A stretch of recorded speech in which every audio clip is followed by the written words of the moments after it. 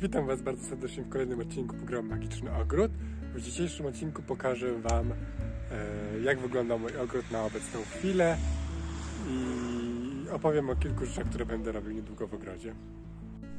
Chciałbym Wam pokazać jeszcze rabatę letnią, którą założyłem, no można powiedzieć prawie, że w połowie czerwca dopiero, e, ponieważ no, rodzice prowadzili prace budowlane przy domu i ten teren był właśnie zajęty i gdybym coś cokolwiek posadził w tym miejscu, no to raczej by nie przeżyło i e, wolałem się wstrzymać, e, żeby nie zniszczyć roślin i no i dosyć późno niektóre rośliny były posadzone.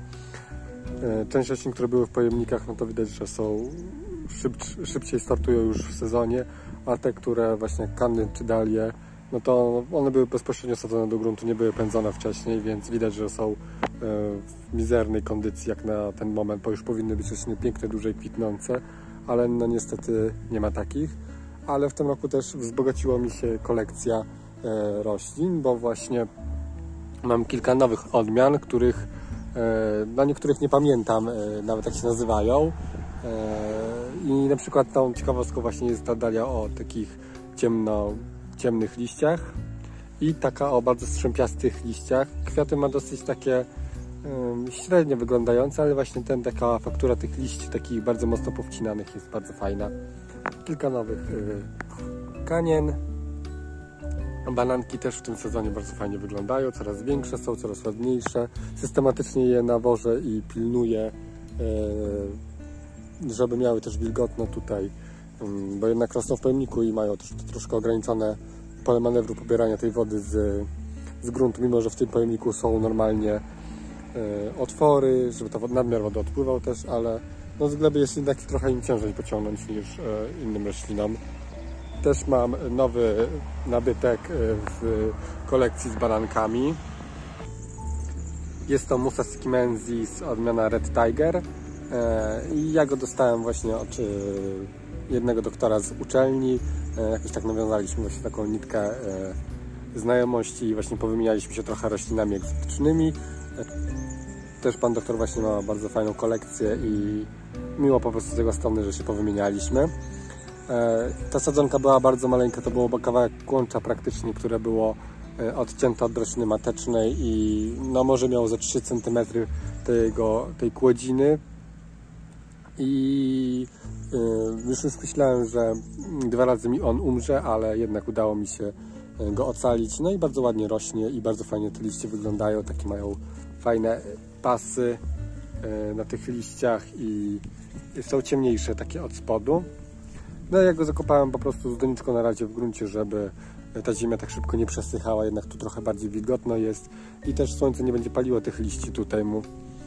No część dali już zaczyna powoli kwitnąć, e, ale no jeszcze troszkę to potrwa zanim zaczną. Jednak muszę też mm, paliki już zastosować u nich, żeby po prostu one się tak nie pokładały. No też wiele roślin jakoś tak y, zaczęło samoistnie wyrastać, właśnie jak pałczychy małe, gdzieś zostały tutaj kłącza, nie wykopałem, znaczy kłącza, bulwy y, i no i jakoś same powychodziły. Część troszkę tych kali też przezimowało zima, aż dziwne, że dały radę. Eukomis jeden też udało mu się przezimować. E, ale jak na razie żaden niż nie więc zobaczymy jaki będzie los tych roślin u mnie. Mm. No i też lekkie zmiany zaczynają się w ogrodzie, już powoli zaczynam przerabiać ten fragment, mimo że um, nie mam bardzo dużo czasu, ale już powoli staram się to robić. Jeszcze właśnie Ensotowe Tricosum Maureli, też bardzo ładnie rośnie w tym sezonie, bardzo dużo już liści wypuścił i podsadziłem go alokazją eskulantą. Kilka sadzonek właśnie mi zostało, część po, e, pooddzielałem od tych dużych roślin i właśnie tak się to prezentuje.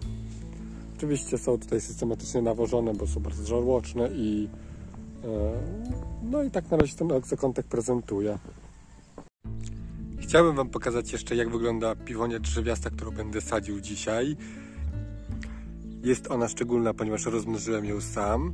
Pobrałem w tamtym roku, mm, poza prawie sezonem już i czasem tego szczepienia, e, podkładkę z piwoni e, tej takiej białej, takiej ogrodowej. I następnie zaszczepiłem na niej zraz szlachetny.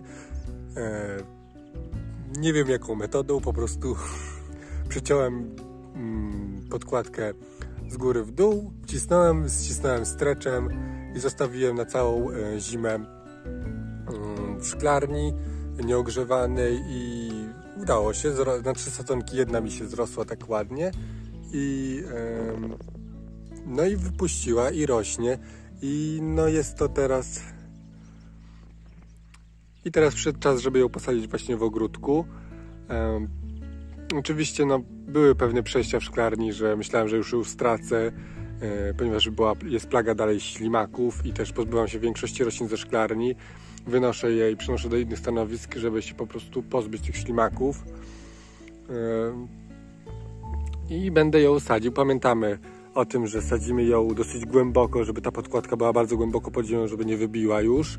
Ten pęd mógł się sam ukorzenić i e,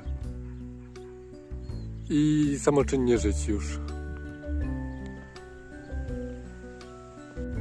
I z takich prac w ogrodzie, jakie prowadziłem niedawno, to właśnie pozbywałem się tego trawnika, e, gdyż no jednak e, moim zdaniem teraz z tej perspektywy był on bezsensowny, ta, taki ten język trawy tutaj, e, żeby przejść się jak... E, I też niewygodnie jest w koszeniu tego i prowadzenie, utrzymywanie tego, bo też e, był duży problem, bo w trawniku rosła taka turzyca, która bardzo silnie się rozrastała przez rozłogi takie jeszcze grubsze niż pesz i po prostu zaczęła wrastać w rabaty tutaj wszędzie, w skarpę tą, agrowłókninę i po prostu była bardzo ekspensywna, ale po pięciokrotnym pryskaniu e, środkami chemicznymi e, udało mi się ją po prostu częściowo zwalczyć. Jeszcze tam pojedyncze gdzie niegdzie e, trafiają się zielone kępki, ale stopniowo je właśnie pousuwam,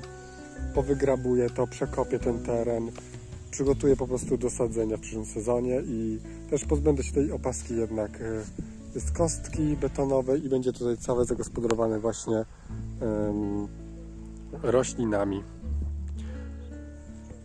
I tak właśnie tutaj um, już coraz więcej takich bylin. Um, jest już i krzewów kwitnących, zaczynają kwitnąć już hortensje bukietowe, piwonie przekwitły, ale też będę musiał je częściowo troszkę poprzesadzać, porozdzielać. Właśnie tą odmianę Barcela e, wysunę troszkę tak przynajmniej z 2 metry do przodu, żeby miała więcej światła. I rozsadzę ją na pewno na dwie kępy, bo już jest dosyć potężna, nie wiedziałem, że ona tak szybko będzie rosła. E, tą odmianę e, Coral Sunset też właśnie wysunę do przodu, bo z perspektywy właśnie patrząc innych tych brzus, odmiany Yangi, to ona też się szybko zacieni i będzie coraz bardziej marnić, więc lepiej wykopać mniejszą kępę i przenieść ją niż e, potem męczyć się z wielką kępą. E, trawy ozdobne też wchodzą w okres kwitnienia już. Właśnie widać e, tutaj na tym miskancie odmiana Afrika, że pojawił się liść flagowy i już to zgrubienie takie napędzie, że będzie wychodził powoli już kwiatostan. Tu jest jedna kępka, tam jest druga kępka. I oczywiście będę ten teren wzbogacał jeszcze bardziej o byliny kwitnące. Teraz właśnie już zacznę w żółwki, e, igła Kleopatry, czyli pustynnik już przekwitł. Właśnie będę wycinał jeszcze te kwiatostany. No i oczywiście królują e, krzewy też. Hortensja bukietowa to są odmiany właśnie takie bardziej karłowe, mniejsze. One tak z, z tego co pamiętam te odmiany tak do 1,50 m maksymalnie dorastają, więc E, dadzą radę w tym miejscu. No i oczywiście ja je dosyć mocno tnę, bo w, mm, właśnie chcę, żeby były dosyć sztywne, grube pędy takie i żeby ten krzew nie wymagał e, e, podpierania jeszcze i zabezpieczenia właśnie takiego, żeby przed połamaniem się pędów. Tutaj oczywiście ta moja doniczka, którą sobie zrobiłem, oczywiście już widać, że ząb czasu ją złapał, już zaczęła pękać tutaj, ale ma, wprowadza fajny klimat właśnie w ogrodzie i no, pierwszy sezon będę uprawiał koleusy e, u siebie w ogrodzie. Są to sadzonki y, które po prostu y, uciąłem sobie i ukorzeniłem w wodzie. Mam tych sadzonek dosyć sporo. Y, połączone właśnie z białą pelargonią i kalią różową, już przekwitły kalie. Widać pozostałości kwiatostanów. Już jest w środku jest owocostan i on zaraz będzie wypuszczał nasiona. Też dzisiaj właśnie jeszcze posadziłem e, część miskantów e, do ogrodu, bodajże chyba 5 kęp, e, żeby właśnie tworzyły taką spójną całość, łączyły ten, tę, tą przestrzeń i stopniowo właśnie będę wprowadzał tutaj coraz więcej tych traw i bylin i żeby właśnie jakoś tak tą przestrzeń tworzyć. Część roślin po prostu będę przekopywał z drugiej części ogrodu, ponieważ tam będę chcę prowadzić prace, można powiedzieć, budowlane, budowlano-remontowe, więc e, żeby ich nie zniszczyć, to właśnie będę przenosił je do tej części ogrodu. E, I no w ogóle roślin będę przesadzał z tych miejsc, bo jednak e, niektóre rośliny zaczynają się robić coraz bardziej ekspansywne i duszą inne. Z takich nowości to też w tamtym roku sadziłem pluskwice, i no udało jej się y, przyjąć, troszkę jej liście poparzył ten środek, którym tu pryskałem, mimo klosza y, przy opryskiwaczu jednak troszkę zawiało na te liście i coś im się podziało, ale mimo to zaczyna kwitnąć, więc jest bardzo fajnie i tak się właśnie prezentuje w tym momencie. O, ogród już wrzosy powoli wchodzą w okres kwitnia, też widać już pąki kwiatowe na pędach, więc już niedługo będzie to wszystko kwitło. I tutaj e, właśnie miskant odmiany Gracilimus. Coraz większe te kępy, coraz potężniejsze i właśnie stąd będę zabierał właśnie te jeżówki, bo jednak yy, za dużo tego jest nasadzone w jednym miejscu i widać, że właśnie za mocno to na siłę wszystko wchodzi. Oczywiście te wrzosowiska też będę stąd likwidował, zmieniał koncepcję tego, tego będę te właśnie wrzosy przesuwał bliżej tutaj, jakieś takie większe łany, i odsuwał właśnie stamtąd, a tam właśnie będą tak stopniowo schodził od tych wysokich roślin, niższych, średnich do najniższych, właśnie tych brzozów, gdzie będą one najbardziej na przodzie. Też tu lawenda właśnie kwitnąca, już końcówka kwitnie, w sumie będę już jakoś w przyszłym tygodniu ją przycinał. Jedna ostnica, jak na razie mam parę sadzonek w doniczkach, które też prowadzę tutaj do ogrodu, jakoś tak w formie jakichś e, układów, kompozycji z tymi roślinami. Mm. Tutaj też pluskwica odmiany Atropurpurea. Też wchodzi już w okres kwitnienia, więc jedna z trzech dopiero. Więc no, powoli już ten ogród coraz lepiej wygląda.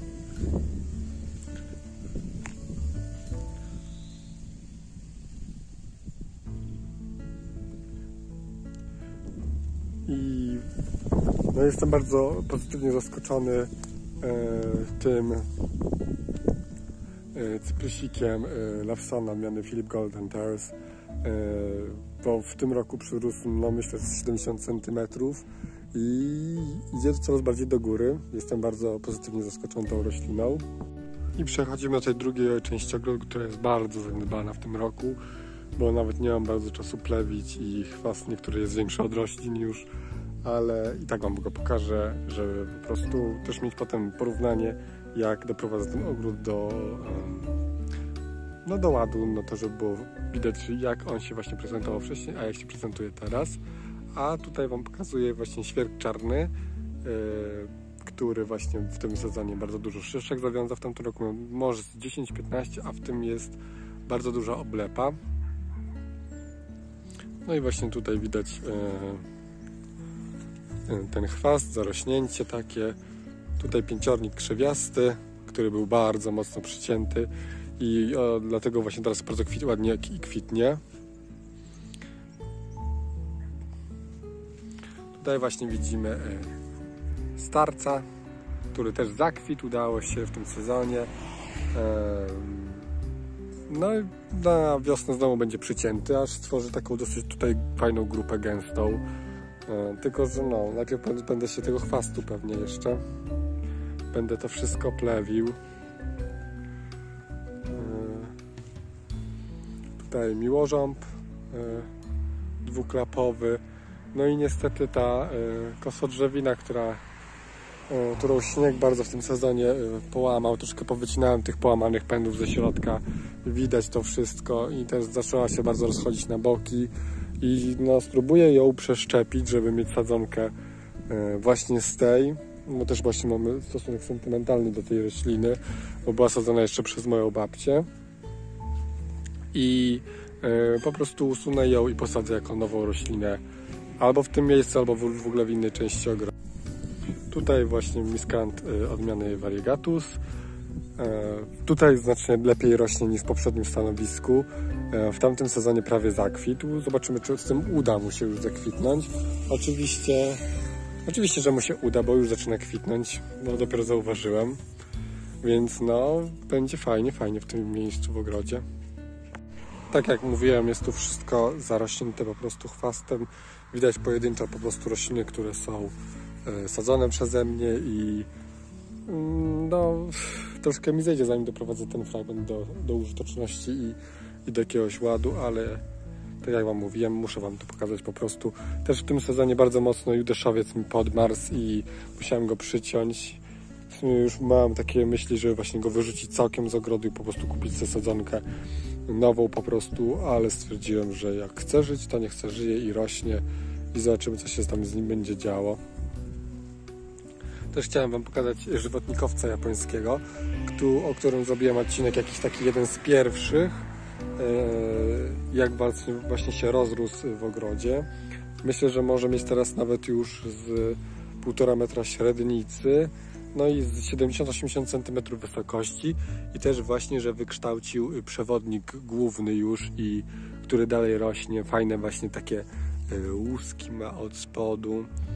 Bardzo fajna roślina, bardzo piękna. Pole, polecam osobiście do, do swoich ogrodów, żebyście posadzili z taką rośliną. Oczywiście ona zajmuje dosyć dużo miejsca, ale są odmiany karłowe, o których też Wam kiedyś opowiadałem. Więc bardzo serdecznie polecam tą roślinkę. No i tutaj dalej zarośnięcie chwastem.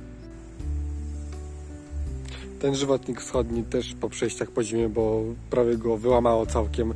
W połowie w ogóle mokry śnieg tak spadł na nią, że e, no całkowicie prawie była poniszczona. Związałem ją statą właśnie sznurkiem, żeby ją doprowadzić do jakiegoś takiego właśnie kształtu e, swojego, właściwego i zaczęła tutaj właśnie jakoś tak lepiej wyglądać.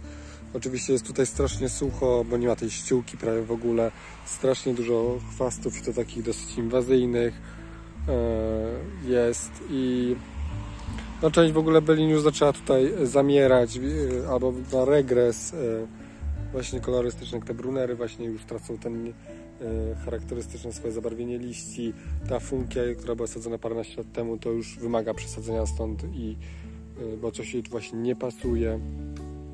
Jest bardzo dużo chwastów. Powoli już właśnie zacząłem rozbierać to, e, ten fragment ogrodu i e, żeby szykować go właśnie pod tę budowę, ale troszkę czasu aktualnie brakuje. Czekam właśnie na urlop i e, w urlopie się tym postaram zająć. No i tutaj zaraz Wam pokażę właśnie wygląda reszta ogrodu tak od tak jakby frontowej części, która zasłania ten właśnie cały bałagan. No właśnie to się tak prezentuje. Tutaj bardzo duża już brzoza, odmianę Gracilis. Bardzo fajnie to wygląda. Muszę troszkę jednak ją podciąć prawie dwa piętra od dołu, bo te pędy już takie widać, że są e, tam troszkę poniszczone, po, e, widać, że są jakieś takie zamierające troszkę i żeby po prostu roślina się nie męczyła na nich, to po prostu zostaną wycięte. Tylko muszę sprawdzić dokładnie w książce, kiedy można w ogóle przycinać brzozy, żeby po prostu nie zrobić jej krzywdy. Tutaj ten pagórek z host. Jednak tutaj jest za duże to słońce, jest ten klon odmiany Sunset y, Eskimo Sunset. Jeszcze ich tak nie zacienia dosyć mocno tutaj i widać przypalenie na tych liściach. Te, które rosną tam bardziej w cieniu, no to są bardzo ładne, ale no, prawdopodobnie cały ten pagórek będzie stąd po prostu przeniesiony e, w inne miejsce, e, żeby po prostu nie zniszczyć tych roślin, które są tutaj przy tym oczku, bo właśnie no, największa praca czeka mnie właśnie przy tym oczku, rozebranie tego i wykonanie nowej misy i wykonanie nowej misy. Właśnie te hortensje też muszę przesadzić stąd. mimo że poprzemazały w tym sezonie dosyć mocno, to je tak dalej kwitną. No ta była niebieska, widać, że już niebieska nie jest tylko różowa. Muszę zmienić jej pH gleby, żeby wróciła do właśnie koloru niebieskiego. Yy, no ta jest biała, taka półpełna, więc też fajna. No i ta jest różowa, najstarsza moja. Anabelka też po przejściach. No i powoli zacząłem się brać za rozbieranie tego. Zacząłem trochę kuć y, zwykłym młotem, ale chyba będę musiał się przejść na y, udarowy i rozbierać to po kawałku i wynosić stąd. Y, no i powoli się sprężać, żeby wyrobić się, żeby nowy beton, który będę tutaj właśnie wylewał, żeby zdążył właśnie jeszcze tak troszkę się odsezonować i żeby nie zniszczył mi się przez zimę. Oczywiście yy, zrobię szalunek e, drewniany, żeby było wszędzie tyle samo ilości właśnie tego betonu, że zadbam o tą podsypkę, zagęszczę ją, żeby też nie podsadzało tej misy. No i oczywiście będę robił go bez zbrojenia, E, gdyż tam rozmawiałam właśnie z, jeszcze z panią profesor jedną z uczelni od budownictwa, którą miałam właśnie taki przedmiot z nią, że jednak lepiej nie stosować tych zbrojeń właśnie w zbiornikach wodnych, bo właśnie na nich one najbardziej pękają i lepiej zastosować właśnie jakieś takie włókna szklane, które dodaje się do betonu i e, no i oczywiście na to trzeba położyć folię w płynie, to wtedy jest gwarancja taka, że to się nic nie będzie z tym działo już no i czym zbiornik starszy, wysadzonowany, odpowiednio przygotowany, to tym jest właśnie lepiej dla niego. No ale też właśnie muszę część roślin stąd pozabierać. Dopiero będę brał się za lanie nowego zbiornika i przygotowywanie tego miejsca. No a tak to prezentuje się reszta tego właśnie wszędzie chwast. Właśnie pozostałości po wykopywaniu miskanta jeszcze właśnie muszę go właśnie stąd wykopać całego tego też. E, bambus rośnie dalej w pojemniku więc e, wykopię ten pojemnik i kupię mu barierę po prostu korzeniową będzie posadzony w ogrodzie. Jak nie w tym sezonie jeszcze to dopiero wiosną dla bezpieczeństwa i będzie sobie rósł w ogrodzie normalnie już. Zasłoni właśnie część rekreacyjną żeby było E, bardziej tak e, przestronnie i e, więcej prywatności. No i oczywiście ta glicynia będzie do wyrzucenia, gdyż coś jest z nią nie tak, po prostu no, nie chce kwitnąć, zakwitła raz, strasznie podmarza mimo zabezpieczenia, jest porażona też grzybami i po prostu kupię sobie sadzonkę jakąś taką zdrowszą, ładniejszą i E, i po prostu ją posadzę, to, a to wyrzucę e, całkiem. Plon sionalistny odmiany flamingo też będzie do wyrzucenia. E, I no i tak to właśnie się zapatruje, to, to rozbieranie tego całego terenu tutaj. Z tych roślin egzotycznych to jeszcze właśnie palma bismarcka. E, oczywiście e, dosypałem jej ziemi, ona dalej wychodzi z tej donicy, więc będę raczej będę zmuszony jej wymienić donicę na taką bardziej wyższą, e, głębszą niż właśnie szerszą, żeby te korzenie jej się dosyć dobrze tam pomieściły wszystkie. Widać bardzo fajnie to zabarwienie, już bardziej te palczaste liście, też stare, stare liście już też pousychały, ale jeszcze nie obcinałem ich. Niech sobie tak wiszą i zaschną całkiem. Wszystko niech ściągnie z nich. I no, jestem bardzo zadowolony z niej. Bardzo fajna roślinka. Kwitną też już lilie. Trawy bardzo fajnie się rozwijają. Już niedługo będą wchodzić w okres kwitnienia. Te drzewiaste też już bardzo fajne. Ta jest prawie mojego wzrostu, więc myślę, że ze 170 cm na pewno ma. E, bardzo fajna. Tutaj też parę roślin egzotycznych. E, banan, e, nie pamiętam dokładnie jak się nazywa, ale mm, rozsadziłem go w tym roku na bodajże chyba 5-6 sadzonek i no wszystkie mniej więcej są takie same, więc nie widać nawet opóźnienia u nich jak, jak one rosną. Agapant afrykański bardzo fajnie kwitnie, szkoda tylko, że jeden kwiat wypuścił w tym sezonie, ale też bardzo fajnie. I kwitnie y, już e, po raz drugi w tym sezonie Echinopsis multiplex. E, no, kwiat utrzyma się pewnie jeden dzień tylko, ale jest piękny po prostu, ogromny i widać też bardzo dużo zawiązanych kwiatów e, na przyszły sezon. Też wypuścił już w tym sezonie dwie sadzonki, bo ta była w tym roku już tu wypuścił jeszcze jedną i z tej strony wypuścił jeszcze jedną. Jedną z tamtego roku już y, jednej przyjaciółce dałem i e, bo też była właśnie zachwycona jak rozkwit ten kaktus, że no, też by właśnie chciała sadzonkę, więc bez problemu jej właśnie udarłem. Jedną sadzonkę zasadziłem i dałem. E, tutaj też jedna fajna taka roślinka, którą dostałem od e, doktora z uczelni Mm, e, nie pamiętam dokładnie nazwy. Jak sprawdzę, to napiszę właśnie Wam pod odcinkiem, jak się to właśnie ta roślina nazywa. E, pamiętam tylko taki szczegół od niej, że jak kwitnie to właśnie z owoców i nasion, e, bodajże robi się paciorki do różańców. Ale bardzo fajnie, ma taki egzotyczny wygląd i mm, była zimowana w szklarni, więc takie mrozy minus 15 Osły, jeżeli jest, rośnie w osłoniętym miejscu, bez problemu da radę y, przeżyć. Z tego co jeszcze pamiętam, to bodajże występuje na terenach Iraku, y, Syrii, gdzieś właśnie takie cieplejsze rejony, y, więc daje radę też u nas. Mm, prosto rózgowato-wiany heavy metal też zaczyna już kwitnąć i bardzo taki fajny, silny kolor tutaj i fajne połączenie daje właśnie z palmami z hortensjami bukietowymi i no i tutaj z liliami też jak właśnie kwitną też oleandry. Tam też właśnie jeszcze palmy, banany. E, tutaj hortensja najstarsza odmiany mm, odmiany Vanilli Fries e, właśnie te kwiaty potem są się takie lekko różowawe.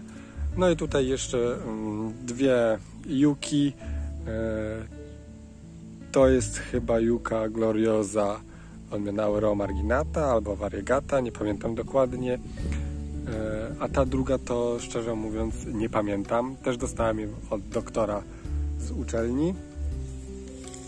Mm, no i moja tutaj palma Waszyngtonia nitkowata pobrała się w tym sezonie troszkę. Dostała dużo więcej nawozu i bardzo fajnie rośnie. Tutaj ten bananek tu od, oddzielony od mojego pierwszego i też sobie świetnie daje radę tutaj w ogrodzie po prostu wstawiony tak, żeby sobie był. I tutaj moja y, Juka Rostrata, którą wyhodowałem sobie z nasionka, coraz fajnie rośnie w tym y, w, y, w, donicy, bo zimuję ją w tej nieogrzewanej szklarni. I y, no zobaczymy może kiedyś udaje się zakwitnąć w moim ogrodzie, a jak nie w moim, to może mojej rodziny. I też tutaj jakiś jeszcze właśnie, o, śmiałek darniowy, bardzo ładnie zakwit, bardzo fajna chmura. Też jeżeli u kogoś ostnice e, nie dają rady, to może być alternatywa dla nich, bo on bez problemu zimuje w naszych warunkach. Bardzo fajną, taką lekką chmurę kwiatostanów daje, więc ja osobiście bardzo serdecznie polecam. I tutaj też bananek, który go dostałem e, od profesora z uczelni. Jest, e, on też ma takie lekko czerwonawe zabarwienie liści od spodu i świetnie sobie daje radę tutaj. Na razie rośnie w donicy, takiej niedużej. E, stopniowo będzie przesadzony do większych donic i stopniowo właśnie do takich donic będą przesadzane i będą one dołowane po prostu gdzieś w ogrodzie, w przestrzeni i no i będą po prostu tak jakby rosły sobie w gruncie, a na zimę będą sprzątane do, do domu, żeby yy, no żeby nie przemarzły, bo też no, nie mam warunku, nie ma w Polsce takich warunków, żeby one rosły bezpośrednio w gruncie i bez zabezpieczenia, bez niczego. Oczywiście mogą, ale trzeba się bardzo mocno opracować przy tym, żeby one przetrwały zimę i trzeba to wszystko bardzo mocno dopilnować. No i na ostatni kadr właśnie Ansata Vetricosum maureli bardzo fajnych liściach. Bardzo fajny kolor, bardzo fajna roślina. Praktycznie mało wymagająca i dla, nawet dla amatorów do, może, do uprawy nadaje się bardzo świetnie.